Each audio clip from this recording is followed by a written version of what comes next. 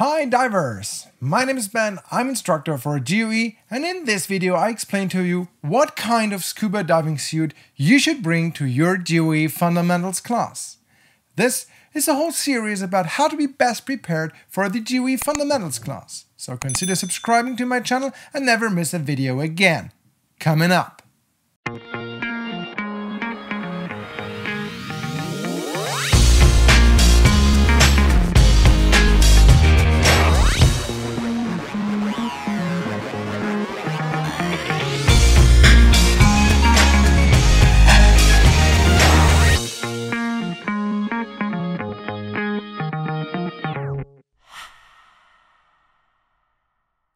This video is about what's the best diving suit for the GUE Fundamentals class.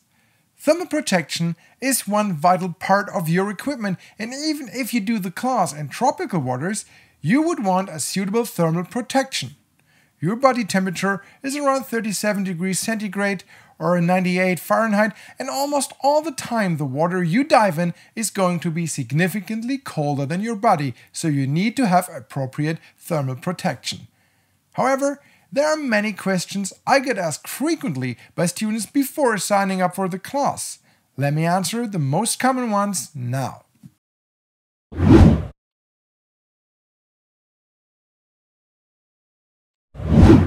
GUE does not prohibit wetsuits on the fundamentals class in any way, so technically you can do it. However, many students do the class in colder waters.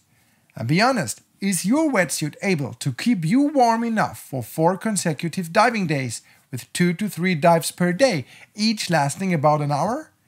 Remember, most likely on the fundamentals class, you're going to learn many new skills, meaning that this class is not just fun diving, but requires being focused on the tasks. Starting to shiver from chilly water will have an impact on your ability to do exactly that. So even if you can do the class in a wetsuit, for most students attending the class in moderate temperature, a dry suit is, pun intended, warmly recommended.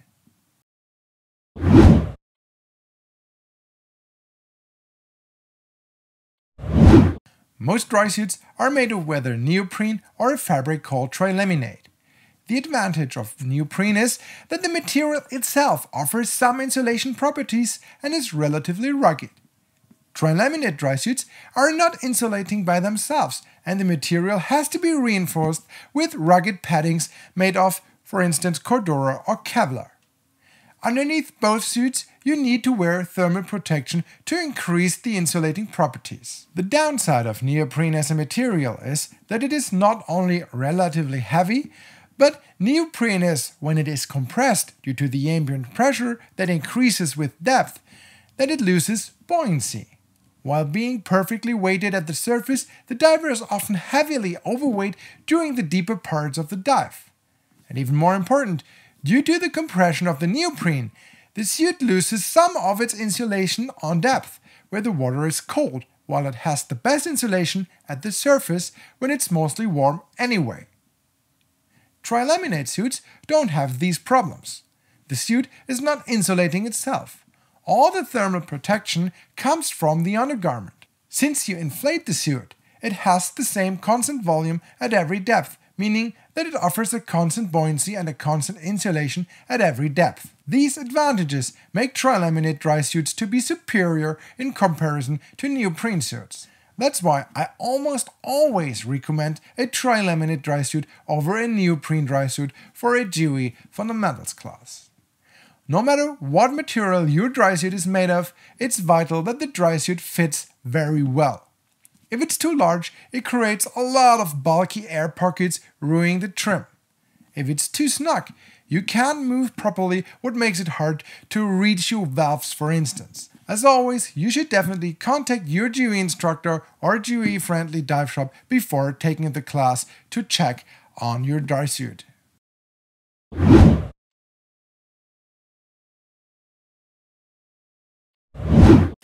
On your GUE Fundamentals class, you're going to need two pockets on your suit.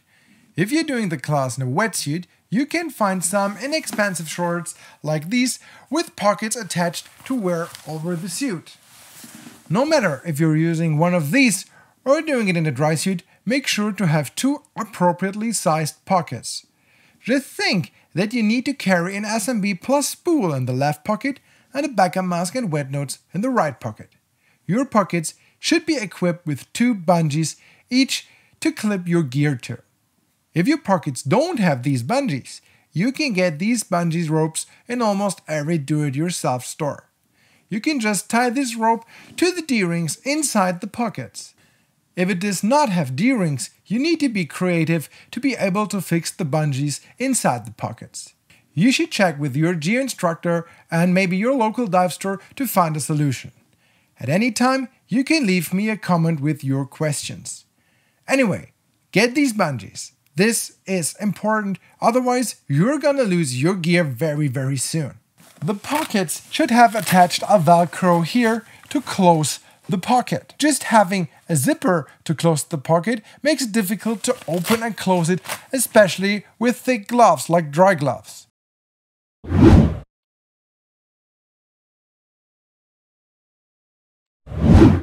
Apparently, your dry suit needs a zipper. The zippers are made whether from metal or plastic. There are different types in the market.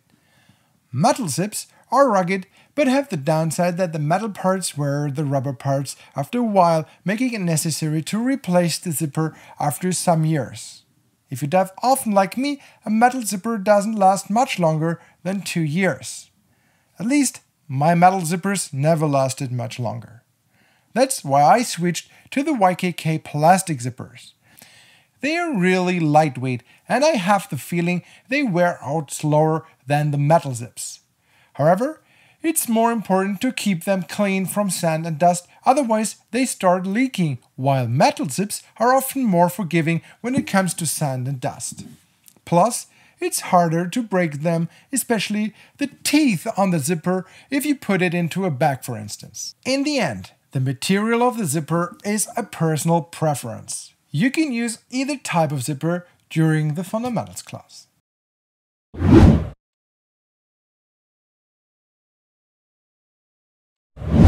Another important part of your dry suit are the seals. Most commonly, the seals on the neck and the wrists are made from latex. Latex seals are durable and one can easily see if they are worn out so you can replace them before they break. Silicone seals are mostly a bit softer and many people find them to be more comfortable to wear. However, the biggest downside of silicone seals is, in my opinion, that it's hard to tell if they are worn out or not. Quite often it happens that a silicone seal breaks without a warning and that can really ruin a dive or even a whole class if you don't have a suit that allows the quick exchange of seals or if you can't get them as a replacement. So if your suit allows to quickly exchange the seals, please bring some new ones as a backup. The last type of seals are neoprene ones. The big advantage of neoprene seals is that they're very rugged. And they can mostly be glued even during a class easily if one breaks. Plus, they offer some additional insulation. However, the downside is that very often, at least in my personal experience, neoprene seals are not as watertight as latex or silicone seals, especially in the neck if you turn around your head a lot. That's why I almost always recommend latex seals for the GUE Fundamentals class and have them installed on my own suits as well.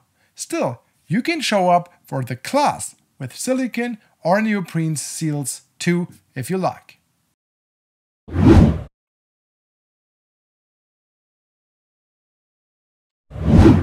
A P-valve is a valve installed mostly in one of the legs of your dry suit, giving you the possibility to, you guessed it, to pee during the dive. Staying well hydrated is very important when diving. However, drinking enough combined with being submerged leads to the so-called diving diuresis. The reason is that blood volume is shifted towards the body center, which stimulates the kidneys to produce more urine, leading to the need to pee. Think of dives for 45 to 90 minutes for the fundamentals class.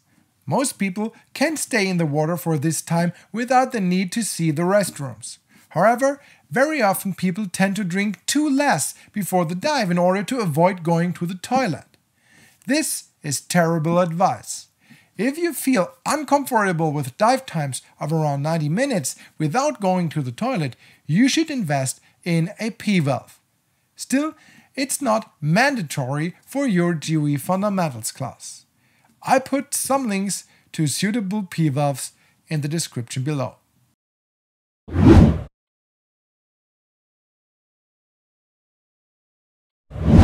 Very often, people come to classes using so called rock boots on their dry suits. Although this is not a standard violation, I wouldn't recommend using rock boots. I know they're great to walk over rough surfaces, but we wear our suits for diving and not for a hiking trip. And when it comes to propulsion and maneuvering techniques, rock boots are, in my personal opinion, not flexible enough. I personally wear only neoprene socks with turbo soles, in this case Kevlar reinforced on my feet. If you use a bit more rugged pairs of boots, it's still important that the boots do not negatively impact the range of motion of your feet. That's why I do not recommend rock boots.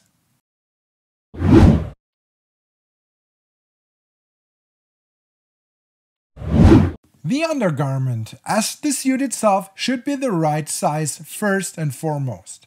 If it's too snug, it has a negative impact on your range of motion. I've seen many students getting only a provisional certification on the class for the inability to reach the valves due to a poorly fitted suit or undergarment. As I said before, check with your GUE instructor or GUE friendly dive shop if your undergarment is suitable and has the right size. The undergarment should not only fit well, but be appropriate for the water temperature. You're doing commonly two dives of around 1 hour per day on 3 to 4 consecutive days. Sometimes the dives can even be much longer in the fundamentals class. So, if you do the class in warm waters, a medium thick undergarment is just fine. If you're doing it in freezing cold water, like in the winter time in Northern Europe, you should wear the thickest one you can get and maybe a heating vest on top.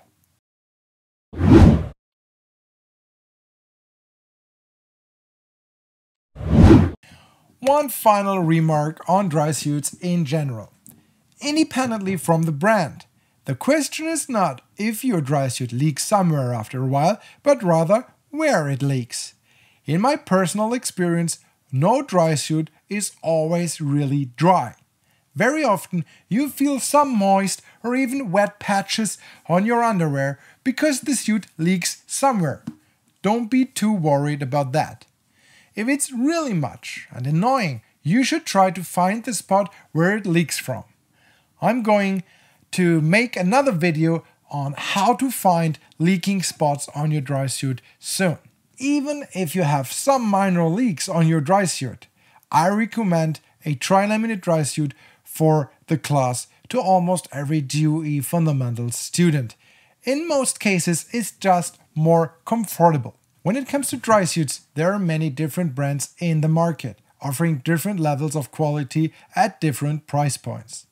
Although I know it's possible to get nice dry suits really really cheap, I would recommend to spend at least 1000 to 1500 euros on a dry suit and a couple of hundred euros more on the undergarment. You may get something cheaper, but very often it's not worth it. Remember that the bitterness of poor quality remains long after the sweetness of low price is forgotten. I put some links to, in my view, appropriate dive suits in the description below. It's not that these are the only suitable ones, but I made some personal experiences with these suits and can recommend them. If you already own a dry suit, please leave a comment which one you're using right now and if you're satisfied with it. Since this is a whole series on how to be best prepared for the GUE Fundamentals class. Make sure to subscribe to my channel and never miss new valuable content again. Feel free to watch the other videos of this series. See you there.